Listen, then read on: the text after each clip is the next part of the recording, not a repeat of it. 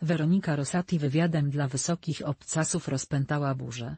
Jej były partner nadal milczy. Weronice znów jest głośno. Tym razem za sprawą wywiadu dla wysokich obcasów. W którym przerwała milczenie i opowiedziała o rzekomej przemocy, jaka miała miejsce w jej domu Rosati wyjawiła, że sytuacja między nią a partnerem zaczęła się pogarszać po zaręczynach. To wtedy mężczyzna zdecydował, by aktorka zrezygnowała z pracy i skupiła się na powiększeniu rodziny. Partner nalegał również, by założyli wspólne konto. Dzięki temu szybko zaczął ją kontrolować. Córka polityka i projektantki wyjawiła też, że w związku pojawiła się przemoc. Aktorka niemal codziennie z ust partnera miała słyszeć o Belgii, słyszałam, jesteś zerem, jesteś nic nie warta, twój czas się skończył, nikt cię nie chce oglądać, kobiety po trzydziestce nie są atrakcyjne seksualnie, nikt cię już nie zechce czytamy w wysokich obcasach. Reklama w dalszej części wywiadu jest jeszcze ostrzej. Uderzał wielokrotnie. W twarz, w rękę.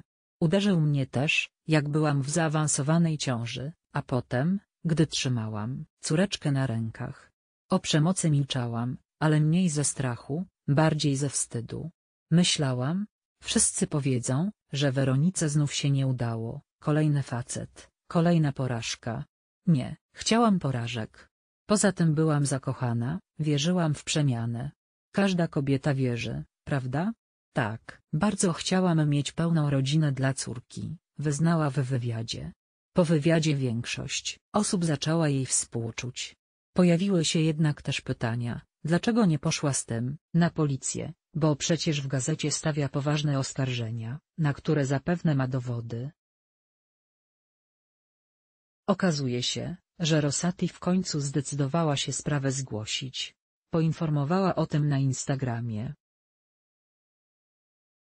Oficjalnie mogę potwierdzić, że policja wszczęła postępowanie przeciw mojemu byłemu partnerowi i ojcu mojego dziecka za znęcanie się psychiczne i fizyczne nade mną.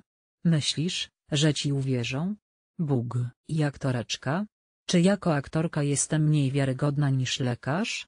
Przecież wiarygodność człowieka nie jest związana z pracą i płcią, ale z etyką, kulturą i postępowaniem człowieka. Lekarz, który przez 30 lat oszukiwał swoją żonę, inne kobiety, dzieci, przyjaciół, rodzinę, środowisko? Zresztą środowisko być, może wiedziało. Ale nikt tego nie potępiał, insynuuje. Gdy ja powiedziałam, zaczęła się fala hejtu, że jestem kłamczuchą, wariatką, dziwką.